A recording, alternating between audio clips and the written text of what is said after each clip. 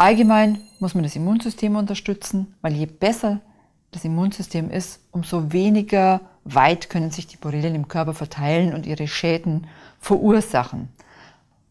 Natürlich muss man schauen, dass die normalen Organfunktionen unterstützt werden. Dazu eignet sich zum Beispiel Gladiator Plus sehr gut, weil es wasserlöslich ist, gut aufgenommen werden kann und im Körper doch Unterstützung gibt, um mit solchen Dingen fertig zu werden und das Ganze in Schach zu halten. Meinen Hund bewusst versorgt. Alle Informationen gibt's auch im Internet unter www.gladiatorplus.com.